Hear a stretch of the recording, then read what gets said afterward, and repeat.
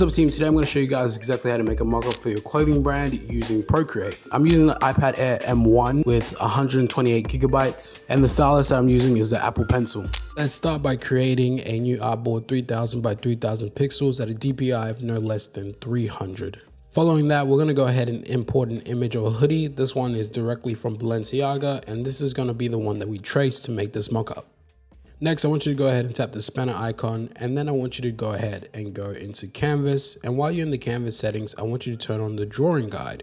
Once you turn on drawing guide, you'll be hit with this template, but just head over to symmetry and then press done.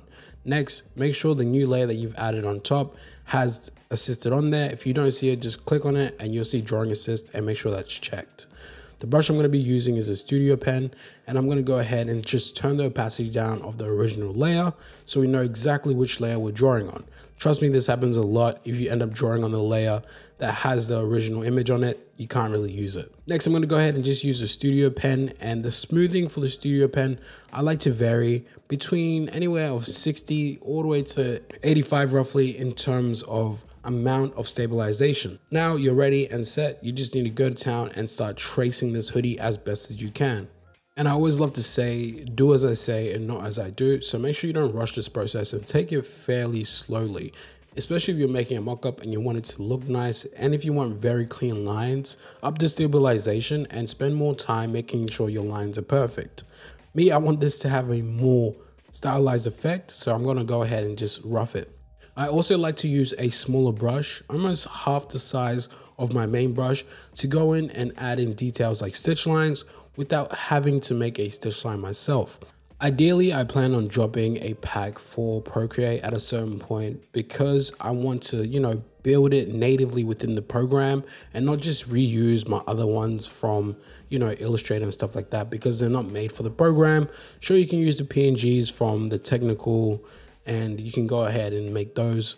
But again, they're not stabilized for this program and they weren't built in this program. So you're not getting the full use out of them. So again, I eventually will build a pack for Procreate, but I just haven't had the time to sit down and create it all. I've made one before, like the sketchbook, but those are drafts and I didn't really like them. So with little intricate lines like this, you know, center line for the zipper, if you go ahead and just drag your pencil down and hold it at the end, it's gonna go ahead and straighten it up. But again, it straightens it, uh, it straightens it to the point of the direction which it sees the line going in. So if you don't have the line in a general straight direction, or it's bending out a bit, Procreate themselves will go ahead and align it to wherever that stroke is. So try your best to keep it straight or going in a general direction and try to make sure it doesn't flare out so your lines look a bit more professional. If you want that stylized IG look, you can go ahead and add in parts of where you see, I guess, folds to make it look a bit more realistic. I wouldn't say the term is realistic. I would say the term is, you know, um, stylized because when it comes to technicals, this sort of thing where you add the stylized stuff isn't really needed. It actually confuses the manufacturer sometimes because they try to recreate that to the T, which you don't really want. But again, if you wanted to have that look like you see on Instagram, go ahead and draw in these little lines. Let's follow up by duplicating the layer we just created. And now this is going to be our color layer. So we're gonna go ahead and just drag this underneath our original layer and start filling this layer in with any color that you want. So this is can be your color layer, whatever color you want, just start coloring it in. If you guys don't know how to color with Procreate, you literally just drag and drop that little circle into a closed area to color it in. Next, you want to go ahead and add in a new layer on top of your color layer. And you can go ahead and make sure the assisted drawing is on that one as well and create a clipping mask and then go in with the exact same brush. So I'm to go ahead and use my studio brush and then I'm going to go ahead and draw shapes of where I would think shadows are going to be. Now, if you want to make this professionally correct, make sure your assisted drawing is not on and then draw shadows depending on the direction of light. For the sake of this video, I just did it this way to show you an explanation of how to make shadows. So now I'm just going to go ahead and draw shapes in the general areas where I want the shadow and then fill that layer in. Let's say you're happy with something like this. Go ahead and go to the magic wand or whatever it's called, your adjustments, and then go to Gaussian blur and then just drag your pencil or drag your finger upwards to add a bit of a blur, something around here. You don't want it to be too dramatic. and then go into the actual layer and then drop down the opacity by around 40%. And now your mockups is looking a little bit more professional than just a standard flat color.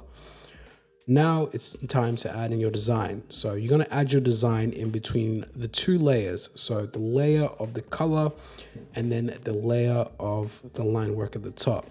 Go ahead and remove any excess um, graphics. So if you want the graphic to be like full chestal print and you see how the sleeves are hanging over, obviously the design is not going to be printed on the sleeves. So go ahead and remove that and then drop the opacity down of your graphic as well. Again, this is just another trick to make it visually look a bit more professional. Next, we're to go ahead and add in a texture. So go ahead and click the spanner, insert file or photo, wherever your texture is. This one's from Texture Labs and it's pretty sure just called the shirt file, or whatever it's called. Um, and then I'm gonna go ahead and just distort it to fit our actual mockup. Once that's fitted, I'm gonna go ahead and group all our designs. So I'm gonna go ahead and just press combine for everything, make sure everything is in one group. Once everything is in one group, I'm gonna go ahead and duplicate that group and then flatten it, which allows us to create a clipping mask on that flattened group. And then I'm gonna set the blend mode to add. Once I set the blend mode to add, I'm gonna go ahead and just play with the opacity until I'm happy with the results. And now you have a texture on your mockup. Now, this is only good for, I would say, Instagram, not really needed for a manufacturer. They want to see the graphic as flat as possible. And also make sure you always have a separate file for your graphic to send to your manufacturer. Do not send them this. But now you're finished. I love you. I'll see you guys tomorrow. Peace.